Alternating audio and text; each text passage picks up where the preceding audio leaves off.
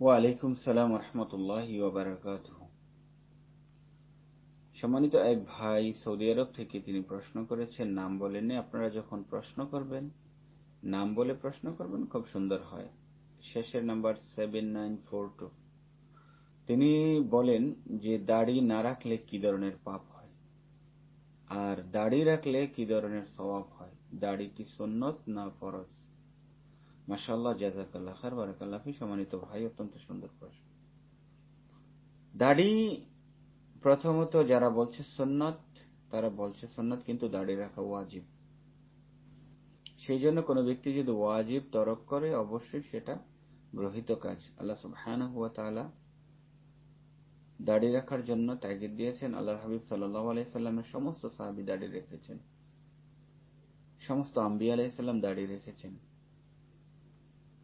الجواب بالله توفيق الحمد لله وحده والصلاة والسلام على من لا نبي بعد وبعد আল্লাহ সুবহানাহু ওয়া তাআলা কোরআনে কারিমে অনেক আয়াত বলেছেন তোমরা আল্লাহকে আতিউল্লাহ ও আতিউর রাসূল আল্লাহকে অনুসরণ করো আল্লাহ রাসূলকে অনুসরণ করো তাহলে আল্লাহকে অনুসরণ করার অর্থ হচ্ছে আল্লাহ রাসূলকে অনুসরণ করা যদি মাইয়ত এর রাসূলে ফাকাদ আতা আল্লাহ যে ব্যক্তি রাসূলকে অনুসরণ করলো সেই ব্যক্তি আল্লাহরই অনুসরণ করল।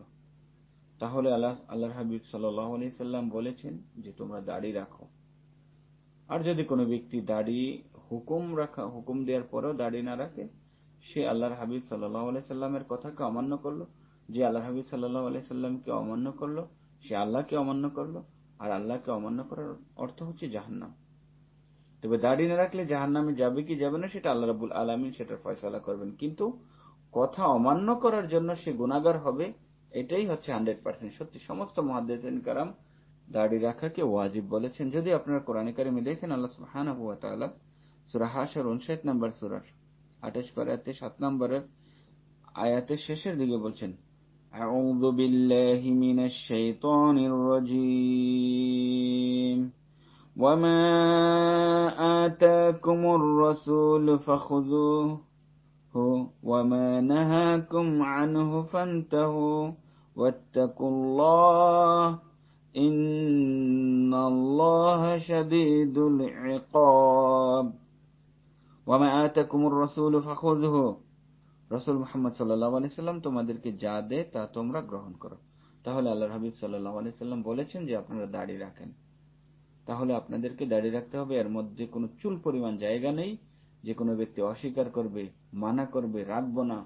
স্ত্রী বলেছেন, সেই জন্য রাখব না। স্ত্রী সৌন্দর্য চায়, সুন্দর চায়।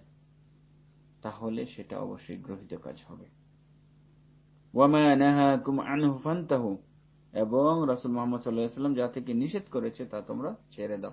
রসুল সাল্লাহ আলাইসাল্লাম যা থেকে বাধা করেছে গোনা পাপ, গ্রহিত কাজ, অন্যায় কাজ, জুলুম, লুণ্ঠন, মানুষের প্রতি হিংসা, নিন্দা মুনাফিকি করা, কারও পিছনে কথা বলা চগলগুরি করা, সমস্ত ধরনের কাজকে নিষেধ করেছেন, সেটাকে ছেড়ে দিতে অত্তাকুল্লাহ আল্লাহকে ভয় করতে হবে।